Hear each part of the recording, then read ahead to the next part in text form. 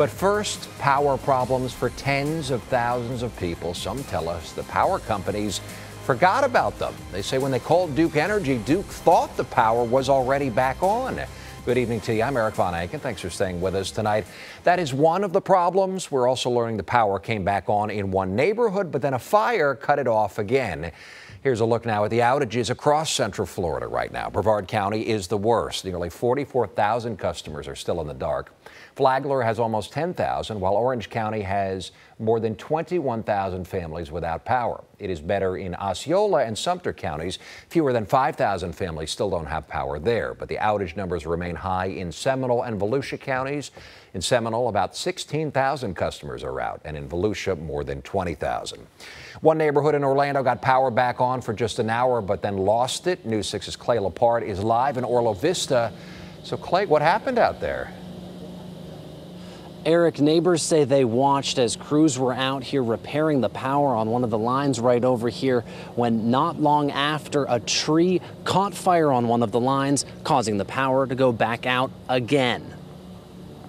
Repairs continue from Hurricane Irma, but these contractors with Duke Energy aren't just bringing the power back on, they're bringing it back on again. It came back 2 o'clock this afternoon, and then and it went back again. Peggy King and Wilmer Labade live here in Orlo Vista and have been without power since Sunday night, without all the little things like air conditioning or a cool refrigerator. So the sight of power crews today was a sign of hope.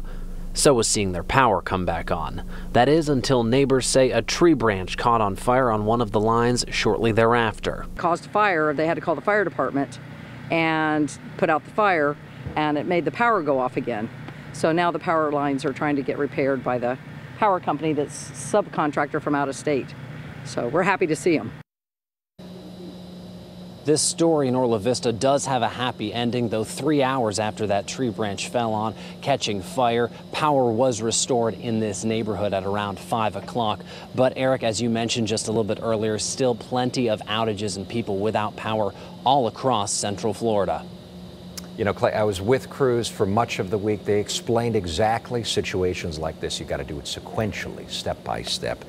Thank you, Clay. We'll see you again tonight at 11. Duke Energy admits it had a problem with its system and thought some customers had power when they really didn't. So tonight, Duke tells us it has changed its automated system so customers can talk to real people more quickly. They have a number for you. It's 1 800 228 8485. We put it on clickorlando.com for you. You can speak to a representative. Immediately, they tell us there is that number again. It's very important. We want to show it to you one more time 1 800 228 8485. If you still don't have power, you know somebody who doesn't, call that number. They will actually pick up the phone and talk to you.